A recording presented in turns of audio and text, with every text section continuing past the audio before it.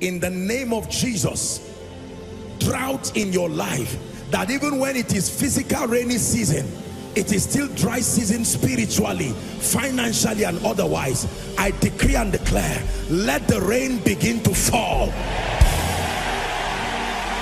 Let the rain begin to fall. Let the rain You're welcome to another spirit-filled message on Christocentric message. If you're new to this channel, I would entreat you to hit on that subscribe button and then to like this video. As well, I would want you to share this message across because we believe that as this message is coming forth, it's going to bless you. Or graces are going to be imparted unto you and then God is going to visit your home. Thank you for watching. Stay blessed. every power that is not of God that has tied anyone's destiny. In the name of Jesus Christ release God's people now. Release God's people now. Release God's people now. Please bring them out if you can. Release God's people now. Release them now. Release them now. I come in the name of Jesus and I decree and declare by the power that raised Christ from the dead that everything that apakatos ketebata ebreketash kotepadi ketekata every altar sitting on anyone's destiny in the name of Jesus the son of the living God the risen Christ be broken now. Be broken now. Be broken now be broken now. Be broken now.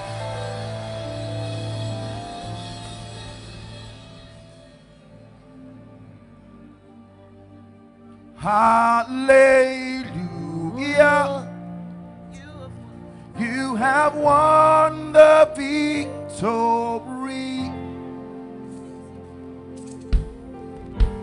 Hallelujah. Have won it all for me.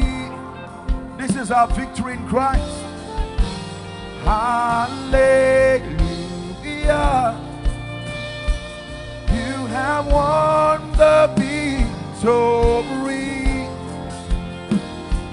Hallelujah. Hallelujah. You have won it all for. One more time. Sing hallelujah. Hallelujah.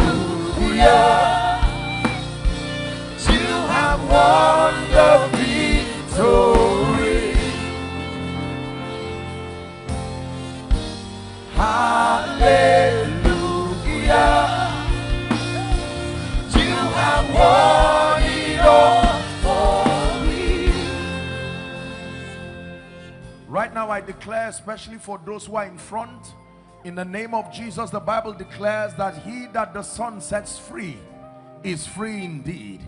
Therefore, by this mantle and this unction, I command every power of darkness over God's people, leave now. Leave now. We bring you liberty that is only found in the name of Jesus, the Son of the living God. And we declare that this liberty remains permanent over your life. Every legal access the devil has over you, by the blood of the eternal covenant, we declare you are delivered now and delivered forever. Delivered now and delivered forever. Delivered now and delivered forever. For in Jesus' matchless name we pray. Now you may be seated. God bless you. You may be seated. God bless you. We're going to be very brief tonight. And I want to walk you through, within the minutes that we have, through a journey, a spiritual journey. Because I believe that tonight is a very defining moment for someone here seated and the many who are following by way of television, following by way of the internet. Hallelujah. I want to describe for you three strategic phases in a believer's life, the believer's journey, so that you can identify tonight which of the phases that you are in and then to know how to release your faith to maximize that which God is doing especially in this season. It is important for us to be discerning enough to know and to understand what God is doing per time per season. There has been a global advocacy of the move of God revivals upon our nation Nigeria Africa and across the globe and that is correct except that if we do not understand the progression of the believer's journey as far as you're walking with God is concerned you may abort destiny not knowing. Hallelujah please pay attention. Now please look up. Many of you have wondered why it seems as though God uses certain people in very mighty and significant ways. It looks like in every generation there seem to be a few people who are mightily used by God not just in ministry as we know but in, in business in government and then it looks like a majority of others just crouch around the corridors of destiny not knowing what to do with their lives and yet the Bible very clearly tells us that in Christ we have been predestined. Everybody has a destiny in Christ. Hallelujah. Now please listen very carefully. The believer's journey, in fact, for you to be a believer, the foundation of your walk with God is your encounter with the Lord Jesus Christ. Please listen very carefully. As simple as this sounds, you will be surprised how many people have been around spiritual things, around church. Respectfully speaking, perhaps they have risen to the position of leadership at different levels, but they have never truly encountered the Lord Jesus. They have encountered a man of God, they have encountered um, doctrine, profitable they have encountered good people. They have served diligently, but they have not encountered the Lord Jesus. The greatest need of an unbeliever, that means one who has not received Jesus, the greatest need of an unbeliever is not counseling. The greatest need of an unbeliever is not healing the greatest need of an unbeliever is not deliverance. The greatest need of an unbeliever is not prosperity. These things are all wonderful. The greatest need of an unbeliever is not education. The greatest need of an unbeliever is none of these things. According to divine priority, the greatest need of an unbeliever, listen carefully, it's not even an encounter with angels. It's not even the gifts of the Spirit. No. In order of priority for your spiritual journey to be correct and profitable, the starting point of everyone's spiritual journey, provided it is Christ and his purposes that you desire to see established in your life, the greatest need of a non-believer is an encounter with Jesus the son of the living God. Please write it down. It is important that the Jesus you are describing is the son of the living God there can be Jesus as the name of someone I, I understand there's a footballer that has such a name and there are many other people across the globe that have that name so that we are not confused. The Jesus we are talking about is Jesus, the Son of the living God. I don't care what you know, respectfully speaking, I don't care how long you have served, I don't care how morally excellent you are, I don't care how excellent of a or communicator or whatever it is that you have that represents an advantage in your life. Spiritually speaking you have not begun the believer's journey except and unless you encounter Jesus Christ the son of the living God. But apostle I saw an angel. An angel is not Jesus. But apostle, I went to heaven as profitable as it is. Going to heaven in a visionary encounter does not automatically translate to salvation.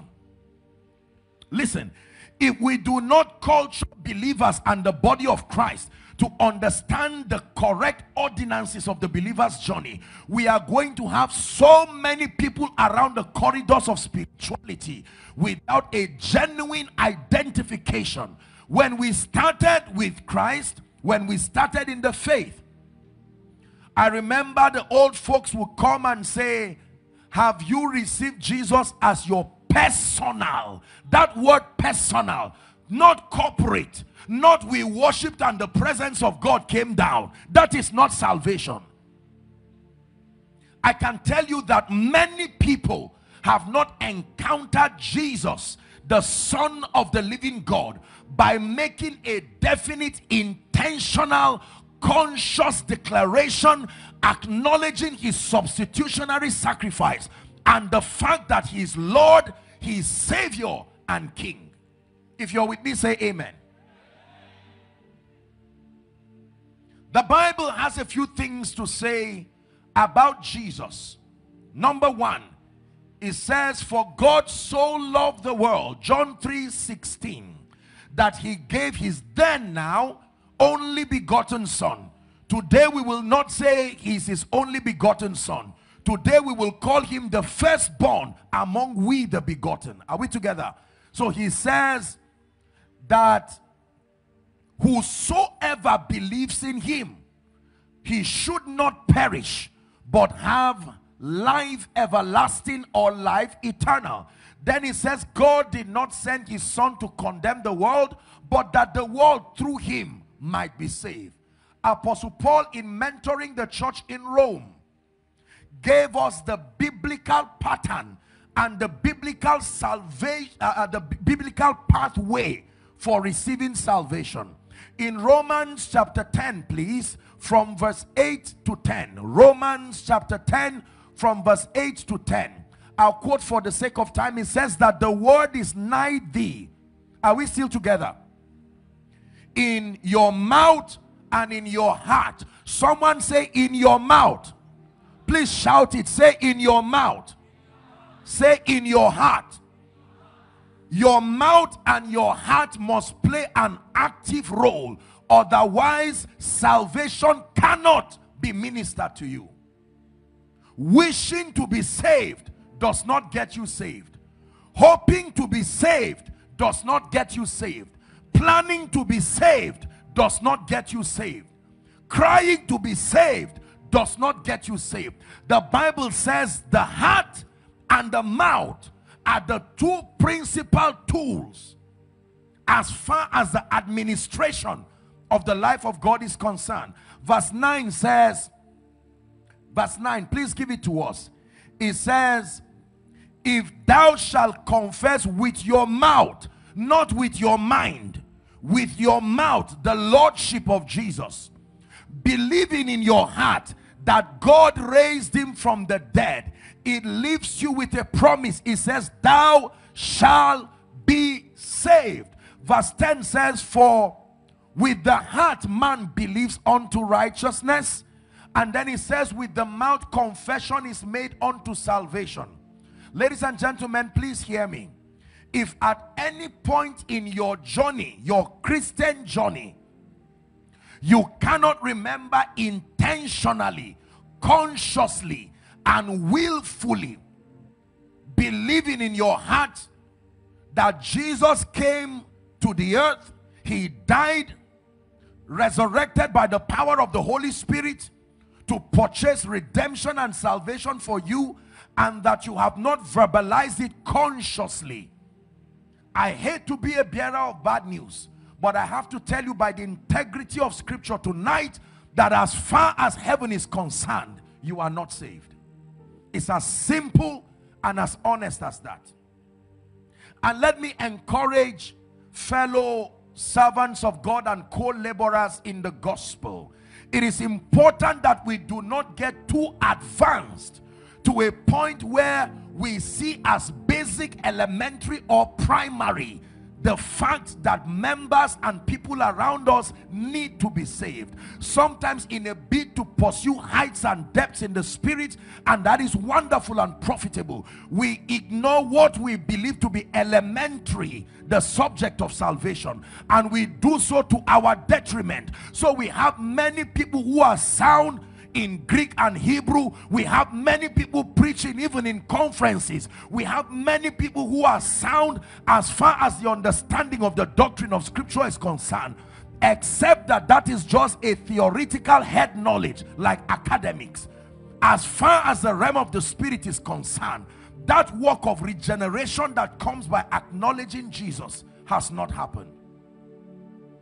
Which is why it is possible that you can see very intelligent, very spiritually sound persons, but you do not find the character and the fruit that befits a genuine encounter with Jesus. Because intellectual prowess is not equal to salvation. Is someone learning now? So, this is the first phase and the first junction as far as the believer's journey is concerned the foundation. That means if you ever find anybody who says i want to walk with god. I want to live a purposeful life. I want to live a meaningful life. The first port of call you can tell him go to church. You can tell him meet a man of god. You can tell him come for a wonderful crusade like this. But all of these are only a means to an end. The end being jesus Jesus had this to say about himself. He said, I am the way. Do you believe that? He said, I am the truth. And he says, I am the life. That no man comes to the Father except through me. In fact, the Bible says there is no other name under heaven given unto men by which we must be saved. The name of Joshua Selman cannot save you even though you love the name, it has no power in itself to administer salvation.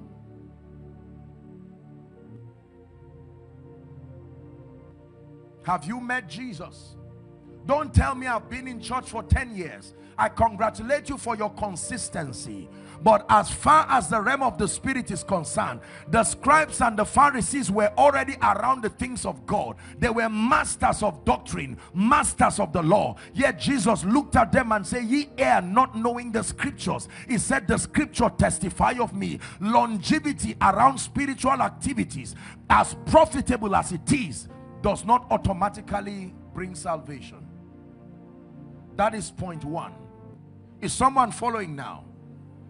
So the greatest need of an unbeliever please learn this as a rule of thumb that every time you see a man who does not know Jesus more than the welfare that you give him more than the invitation to church the greatest cry of heaven over that individual is his salvation not just his children not his academic pursuit alone. All those things are wonderful but the highest spiritual priority the point of focus for any unbeliever is that he comes to know Jesus. Now, the second phase of that journey, are we still together?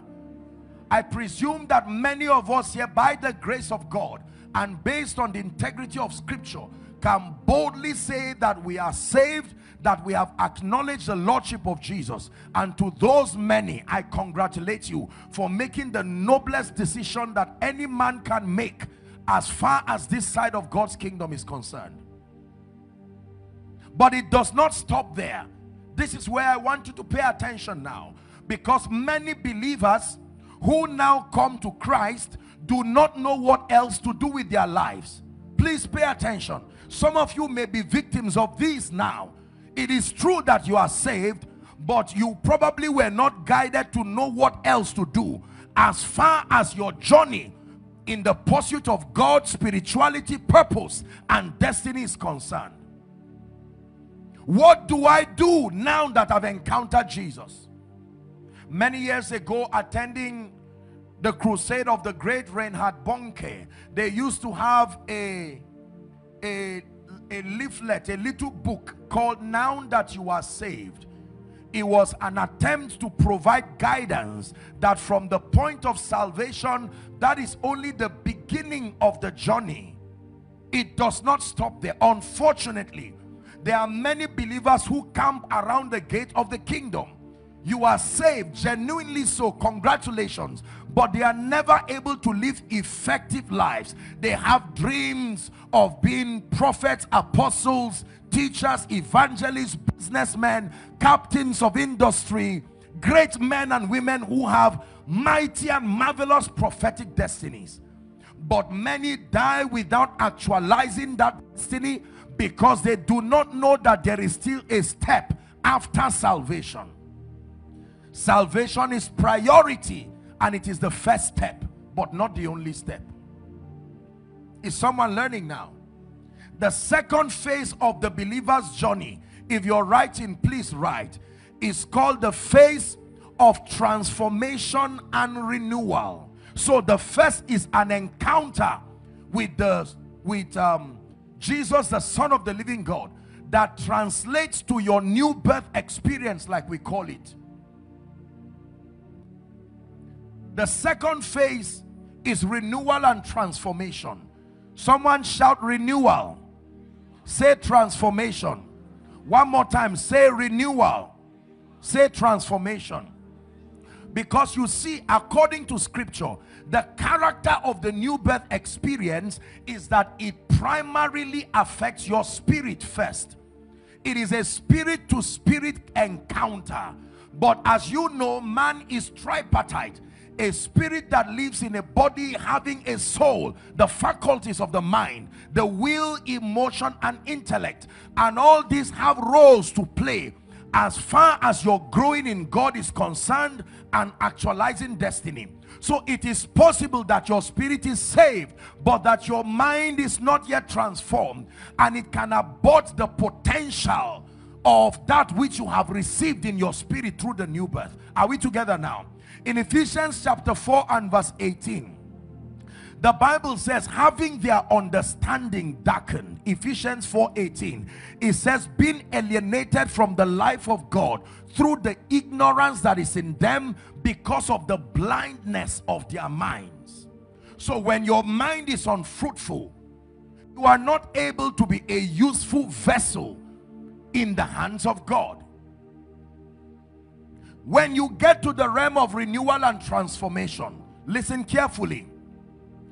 There are three principal forces that must be released in your life for that phase of your life to be profitable. Number one is the person and the ministry of the Holy Spirit. Please write it down. While it is true that the Holy Spirit plays an active role in the administration of salvation there is the office of the Holy Spirit and the function that he plays in the life of the now believer in Christ. Are we learning now? If you are with me, shout amen. Let the devil hear you shouting amen. So I said that the first phase in the believer's journey is your encounter with Jesus, the Son of the living God. Then you get to the phase of renewal and transformation. And this is a long period in the believer's life determined by your zeal, not just the grace of God. The, the same Lord is rich unto all. It is at this phase that many believers separate themselves into various levels of spiritual possibilities the same salvation is administered at the point of confession. But now the journey of renewal and transformation you are introduced to the person and the ministry of the Holy Spirit. I wish I had time to teach on the Holy Spirit. I can spend an entire week and even here teaching you about the Holy Spirit. But a few things for you to know about the Holy Spirit. Number one the Holy Spirit is God not an archangel not one of the spirit beings not one of the doves or candles like the bible shows us in types and shadows. The holy spirit is god. Number two the holy spirit is the creative dimension of the godhead. That means the manifestation of power resides within the office of the Holy Spirit. The Holy Spirit is also the manifestation of the presence of Jesus to the believer today. That every time you call on Jesus, the person Jesus is seated at the right hand of the Father today, the Bible tells us, but the personality who represents his presence every time you call Jesus is the Spirit of the living God. He's the Holy Ghost, Spirit of the living God. You're the Holy Ghost, scepter of the King of Kings. You're the Holy Ghost, seal of the age to come. You're changing everything in obedience to Christ. So the Holy Spirit has an assignment. The first assignment of the Holy Spirit to the believer, listen carefully, is to activate your organs of interaction with the realm of the spirit.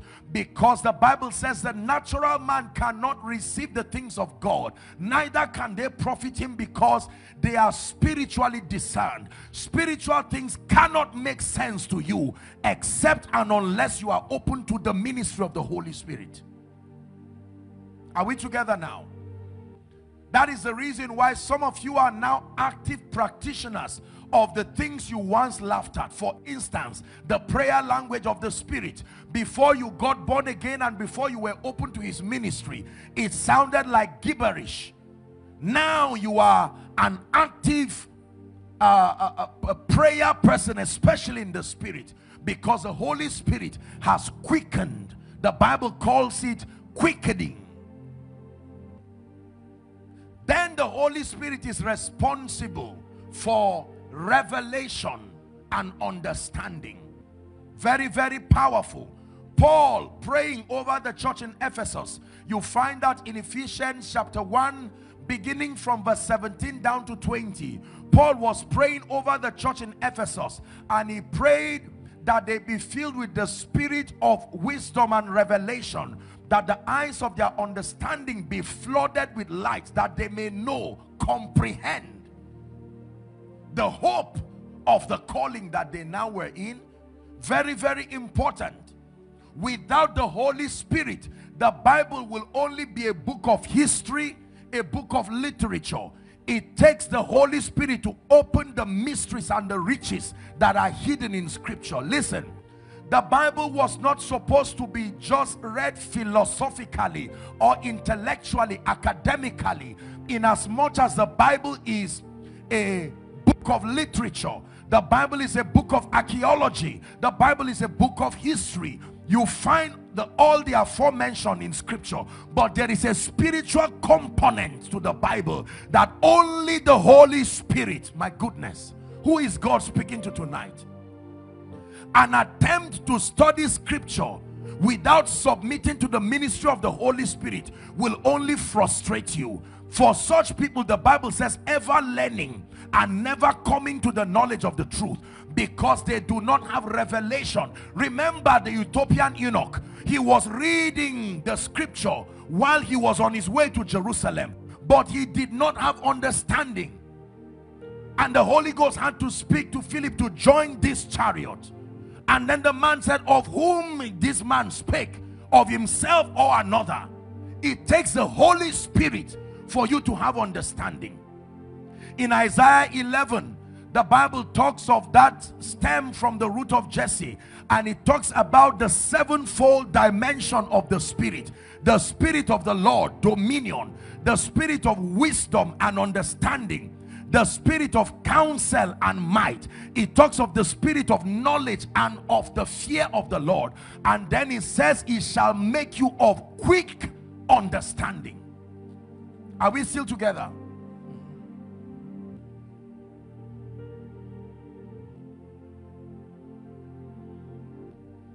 Your spirit opens to me. The treasures of your word, and I will forever sing your praise. It's your spirit that opens to me the treasures of your word, and I will forever sing your praise. I will sing of the wonders of your word. I will sing out for joy. I will sing of the wonders of your word, and I will forever sing your praise. Listen to me. Ladies and gentlemen, there is no great man that you know today in this nation and across the globe, including our father in the Lord, Daddy Gio. You see that the mysteries that they have access to is credited to their submission to the person and the ministry of the Holy Spirit. There are many of you here who have had visions of mighty, mighty things that God will be doing in and through your life. And yet you have ignored the ministry of the Holy Spirit. There is no possibility of becoming if you ignore him. The Holy Spirit is beyond a Pentecostal phenomenon. The Holy Spirit is beyond a charismatic phenomenon. Jesus gave the Holy Spirit as a gift to the church. The guarantee that we will become. Is someone hearing now? This is important. For someone God is speaking to you. It's important to embrace the person and the ministry of the Holy Spirit. I'm glad I did. Look what he's made out of my life. The Holy Spirit, listen, can turn darkness to chaos. In Genesis chapter 1 verse 2, when there was darkness and chaos, it says in the beginning God created the heavens and the earth and then it says now the earth was dark and void and formless. From the Hebrew word tohu wa bohu confusion and chaos. And then it says but the spirit hovered round the face. Every time there is darkness and void a life with no color a life with no beauty no dignity doesn't matter how it happened to your grandfather to your father you submit to the Holy Spirit and see what he's able to do. He is brooding over every darkness. He's causing lights to shine from darkness. The Holy Ghost is brooding over every darkness. He's causing lights to shine so are we still together now? We're dealing with the phase of renewal and transformation. And I'm introducing to you the person of the Holy Spirit. And that the Holy Spirit quickens your spirit man and your organs to help you comprehend spiritual things. Now you will see value in fasting. Now you will see value in prayer. Now you will see value in going to church because your spirit man has been quickened attempting to force religious activities on people without the Holy Spirit sponsoring the quickening will only lead to a burdensome ritual. It is the Holy Spirit that plants passion within your heart so that you will do things that seem to be laborious but with joy because your spirit man has been quickened. Is someone hearing now? So the Holy Spirit activates your organs of interaction with the Spirit being alive unto God. The Holy Spirit is responsible for revelation and understanding. Very, very important. Hear me please. It is at this point of renewal and transformation that you now begin to learn the ways of God. The Holy Spirit introduces the Word of God to you. Now the Word of God can be valuable to you. Listen, the ministry of the Spirit and the ministry of the Word are the two principal forces that sponsor transformation and renewal. There is no superstition to transformation and renewal. It is your ability to immerse yourself in fellowship with the Spirit and to be studious of scripture. It says, and that from a child thou hast known the holy scripture, it says, which is able to make you wise unto salvation. Acts chapter 20 and verse 32. It says, And now, brethren, Acts 20 32. And now, brethren, I commend you to God, it says, and to the word of his grace, which is able to build you up and to give you an inheritance among them that are sanctified. It is the word of God that builds. The word of God helps you to understand the modus operandi of the kingdom. Now you know how the kingdom operates. You begin to learn what the Bible calls the ways of God. And you see, according to scripture, the ways of God precede the glory of God. You cannot see the glory of God until you understand his ways. Moses said, Show me your ways. Then he said, Show me your glory. Leviticus chapter 9 and verse 6.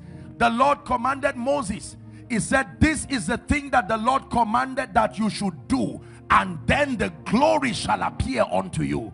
There is something you need to know, and then it empowers you to do, and then the glory comes.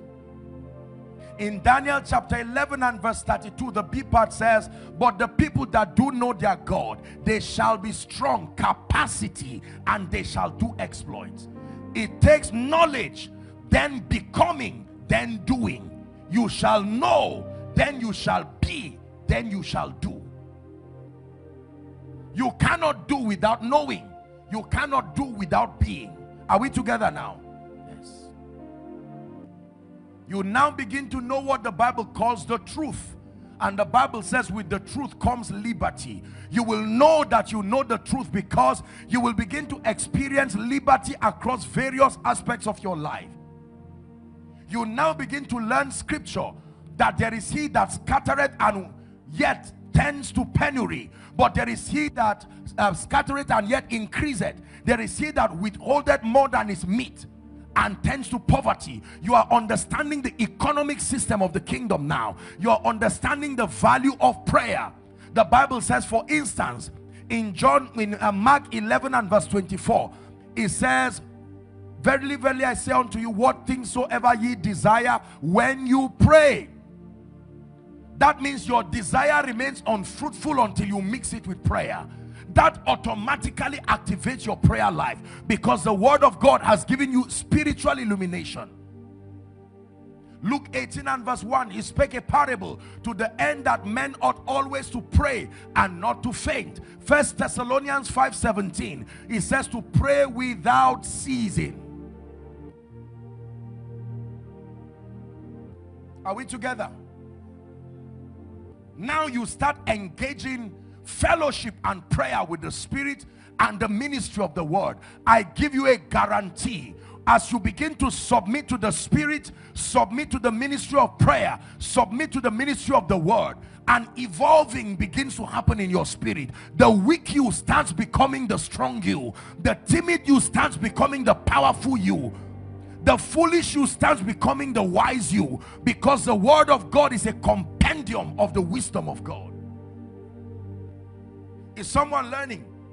So if your spiritual experience is unprofitable, by this journey, God is showing everyone where you stand.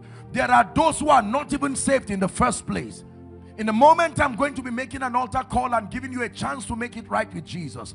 But for the many who are saved and yet your life is not fruitful and not profitable, I am showing you what is missing you have ignored the ministry of the Holy Spirit alongside the fortitude for prayer that comes as a result of fellowship with Him.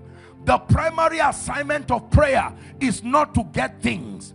The primary assignment of prayer is as a tool for growth and transformation. Luke chapter 9 and verse 29 it says and as he prayed the fashion of his countenance was altered and his raiment became white and glistening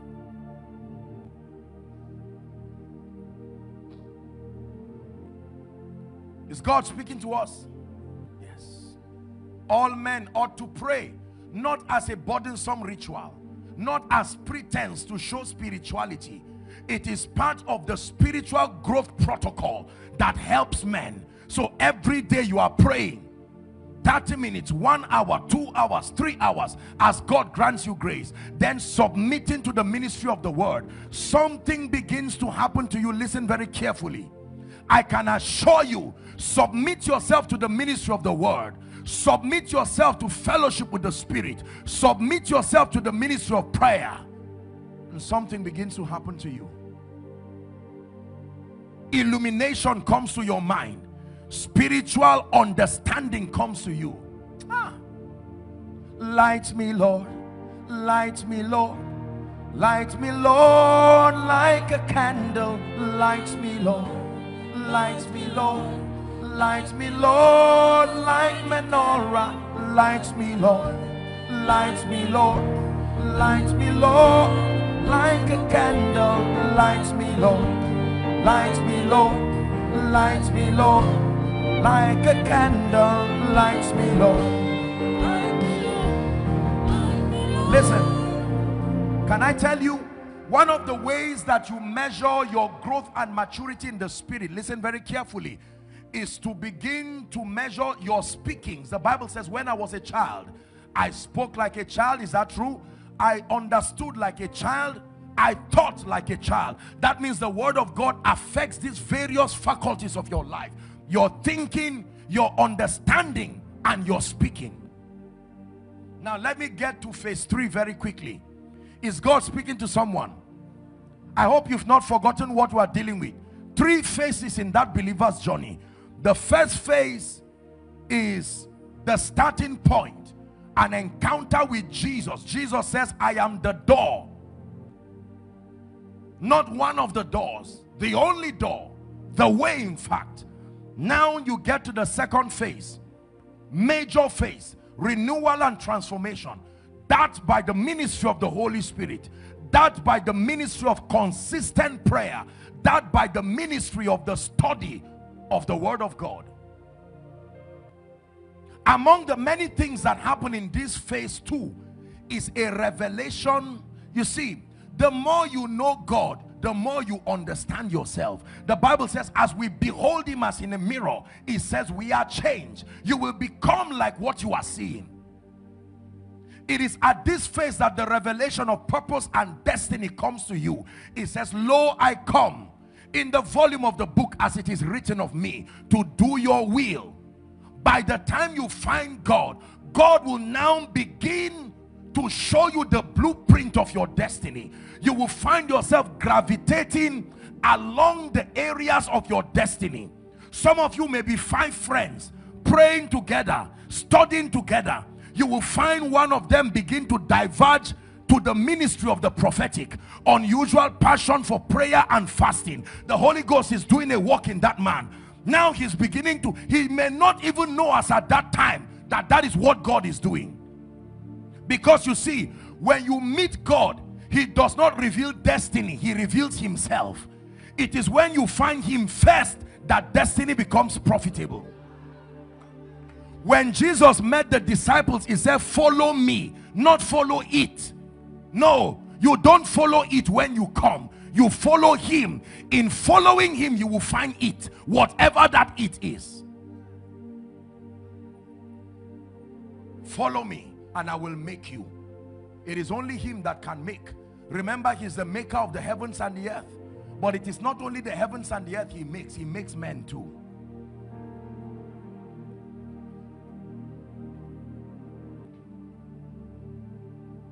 Purpose and destiny. Now you begin to know that this is what God has called you into. Out of the abundance of the vast encounters, out of the abundance of a life dedicated to learning, to doctrine, to prayer, to fellowship with the Spirit. It is impossible, ladies and gentlemen, to maximize this phase of your life and not have a rich, robust, profitable stature in the Spirit. It is the absence of these that is responsible for weak believers ignorant believers and believers who are not profitable as far as kingdom come is concerned now watch this let me go to the third phase for the sake of our discussion tonight. The third phase is the phase of empowerment and release. Empowerment and release. Release there does not mean leaving you. Empowerment and now releasing you to be a witness. Listen. Never stand before Pharaoh when you have not stood before God. It is a risk to stand before Pharaoh until you know the God who has sent you. When he called Moses, Moses said, Don't send me to Pharaoh. That man is a wizard. Uh, it takes more than English or Hebrews for him to deliver the people. I have the destiny of a deliverer, but who shall I tell Moses has sent me? Many of you were called, but you are not yet sent, and you started going. The fact that God called you does not mean He has sent you. He called you to Himself, He sends you to the world. Let me repeat He calls you to Himself, He sends you to the world. I can call you. Let me use a gentleman here. Come, sir. Watch this. Have I called him? Has he answered the call? I called him to myself. Now go back. Who sent you? I don't doubt your call, but I doubt your witness. Because when he calls you, he makes you, he empowers you, then he sends you. God called me is not enough to be effective. God calls you to fellowship with Jesus. God calls you to fellowship with the word. God calls you to fellowship with the spirit. Then he sends you. He said, when I sent thee, lackest thou anything? When I sent you, not when you went. Dearly beloved, I hope you were blessed by this message. Do not keep the video to yourself. Share to as many as you can to help them bless. Check our homepage for more of our messages. Subscribe to the channel, comment on it, like it. See you on our next video.